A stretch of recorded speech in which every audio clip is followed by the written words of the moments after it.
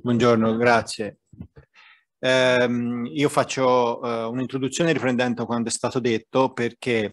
eh, questo progetto è, sono due progetti, uno dedicato a Palazzo su Musei Nazionali di Lucca, uno dedicato a Palazzo Manzi e uno dedicato a Villa Guinigi. I eh, musei ovviamente sono due, hanno caratteristiche fondamentalmente diverse perché uno è una residenza d'epoca e l'altra invece è un museo, tra virgolette, tradizionale eh, ma eh, hanno anche una, una, una forte, numerose ehm, uguaglianze perché è un humus, le collezioni sono state, c'è una, una, specie di osmosi tra le collezioni dei due, dei due musei. Eh, proprio il fatto che la regione toscana abbia finanziato, cioè abbia dato la possibilità di finanziare entrambi i progetti ha, ha dato la, la, spinta maggiore al, al, al pieno eh, diciamo, funzionamento del progetto perché noi abbiamo potuto investire i sei ricercatori in un progetto comune che riguarda i, i musei, entrambi i musei nazionali e ehm, con la collaborazione anche della direzione regionale dei musei e in particolare dei, dei musei nazionali di Lucca. Quindi abbiamo messo su un'equipe interdisciplinare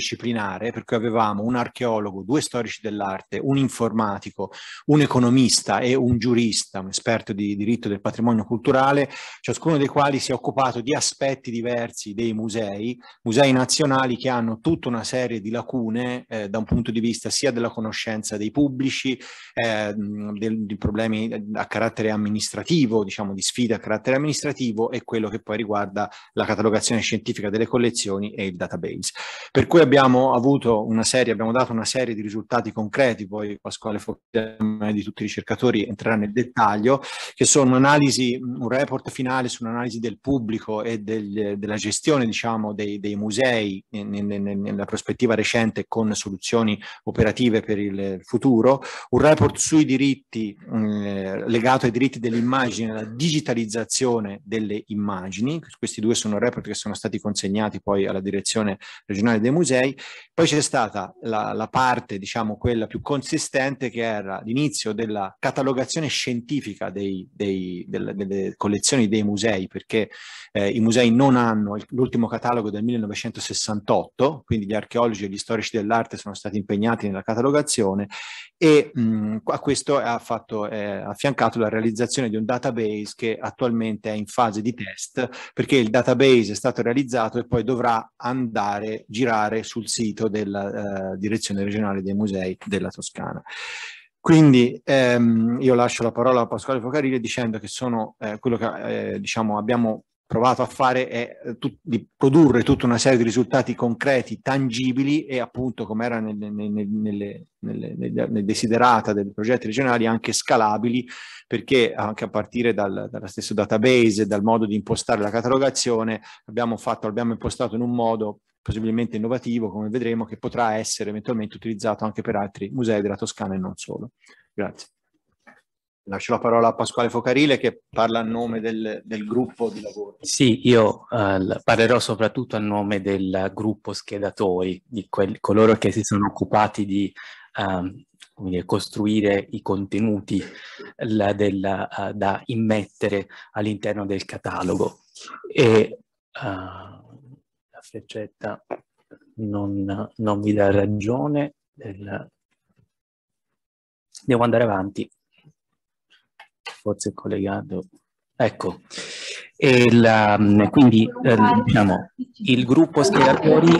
eh, la, si è occupato di tre sezioni fondamentalmente del patrimonio dei due musei nazionali di Lucca, la collezione archeologica di uh, Villa Guinigi uh, la, con Elena Pontelli, la collezione uh, la, di arte medievale, di pittura medievale del Museo Nazionale di, di Villa Guinigi ancora con Virginia Caramico e la pinacoteca del Museo Nazionale di Palazzo Manzi. Questo per quanto riguarda il lavoro di schedatura che come diceva il professor Pellegrini alla, confluisce all'interno di un catalogo digitale.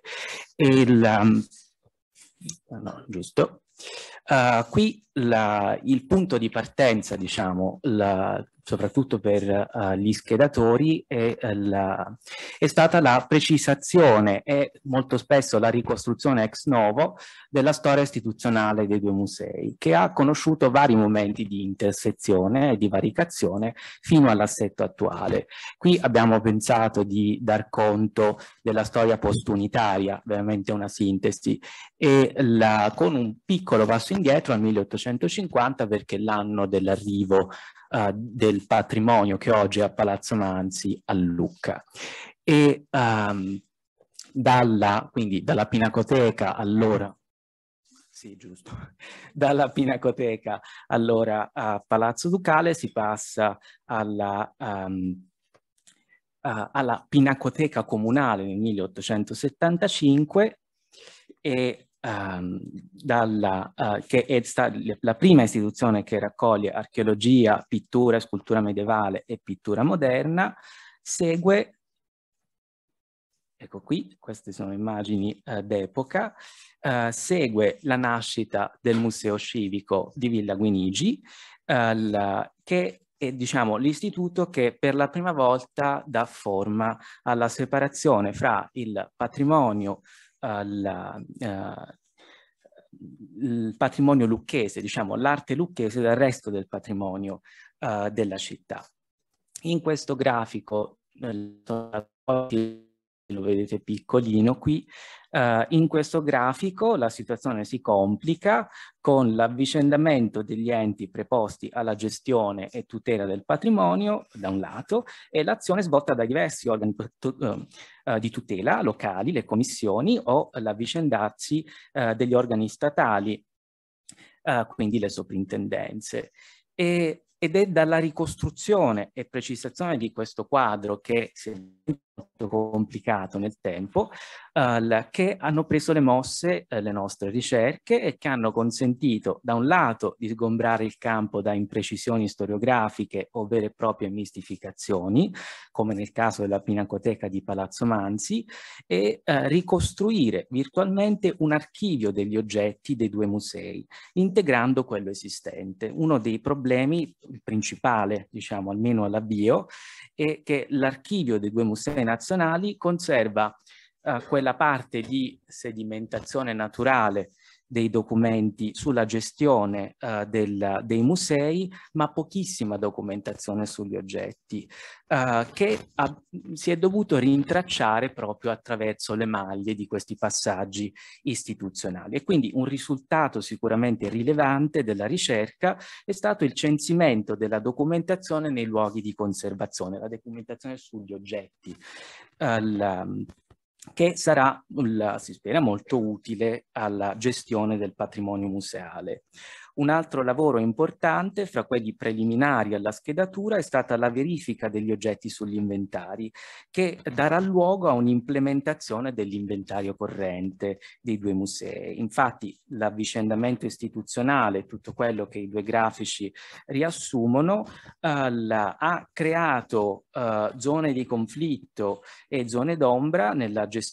dei musei e quindi ciò non ha facilitato eh, la formazione di un archivio degli oggetti. E fatta eccezione per un piccolo gruppo, le opere dei musei lucchesi non posseggono alcun dossier o altro strumento che tenga traccia della storia, uh, del materiale e critica degli oggetti. Ed è per questo che uh, è stato indispensabile riconnetterli alla loro documentazione primaria, ove esistente, per poi procedere al lavoro di schedatura vero e proprio, che ovviamente non raccontiamo qui. Uh, a completamento delle attività uh, di documentazione capillare delle opere è stata intrapresa una campagna fotografica digitale uh, del nucleo di pittura medievale di Villa Guinigi che è stata possibile grazie alla collaborazione di IMT con la direzione regionale dei musei e con l'Università di Firenze. Le fotografie ad alta risoluzione serviranno all'illustrazione del catalogo digitale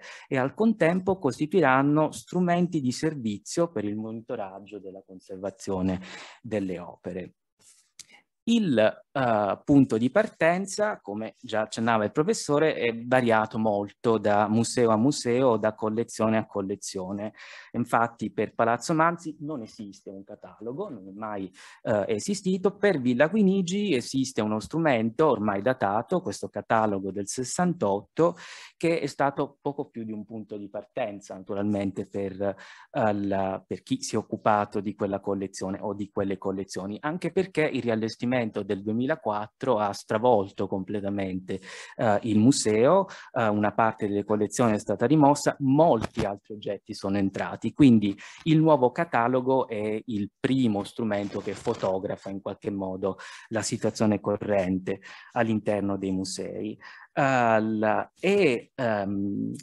la, uh, la, nuova campagna di schedatura e il nuovo catalogo è anche pensato come nella forma del dossier, perché ogni scheda avrà una sua appendice uh, espandibile uh, con gli aggiornamenti uh, storiografici o di conservazione delle opere e quindi quel che si è voluto creare è non soltanto un catalogo scientifico aggiornato all'anno di bilancio del catalogo, ma anche uno strumento